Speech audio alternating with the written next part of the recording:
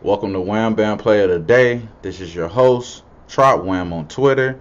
This is odds.com, OddsHQ on YouTube. Make sure you like, subscribe. Today we are filming this in July 23rd, 2020.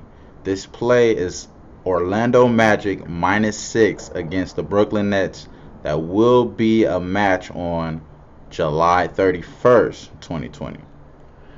Let's look into this as far as the Brooklyn Nets. Brooklyn Nets, probably one of the most depleted teams that we have in this bubble. They lost eight players, including Kyrie Irving, Kevin Durant, Spencer Dinwiddie, Dinwiddie. They even lost a replacement player that they may have they already had to replace.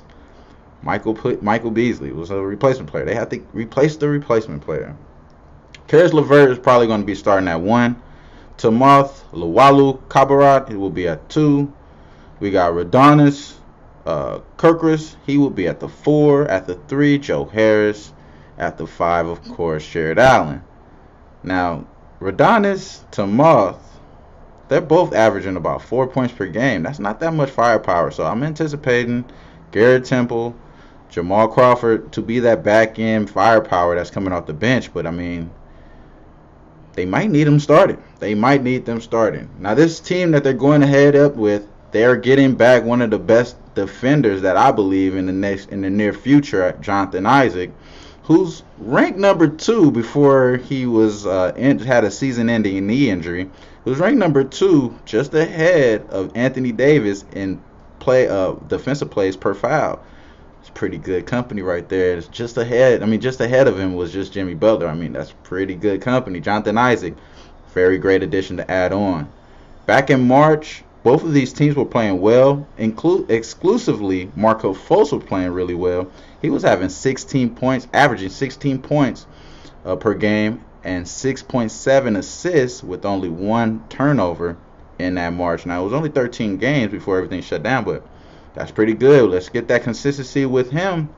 Only getting better every time he gets on the court. So I like that as well as them having other players that's coming off the bench. Mo Bamba, Vucevic, who's also one of the best fantasy big men of the last three years. Vucevic, Nikola. Come on now. Minus six is maybe a gimme here. So that's why I'm getting this out early. I'm anticipating this to be at minus eight before the tip off there. And I think the reason behind all this is because this is a away team for everyone. And Orlando Magic is one of the best away against the spread teams that we had before the end of this year. They're hitting at 60%, uh, covering 60% of their games away, and they're having a 65% to the over on the road games as well. Big numbers right there that you're looking at. So I'm looking at this as minus six, may not be that far away.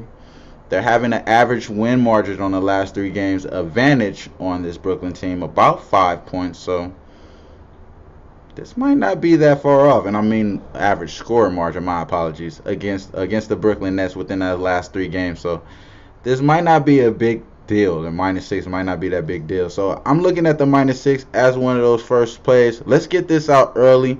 Wam bam play of the day we will have more of these. Shout out to odds.com, OddsHQ on YouTube. Make sure you like and subscribe. Wam is bubbling.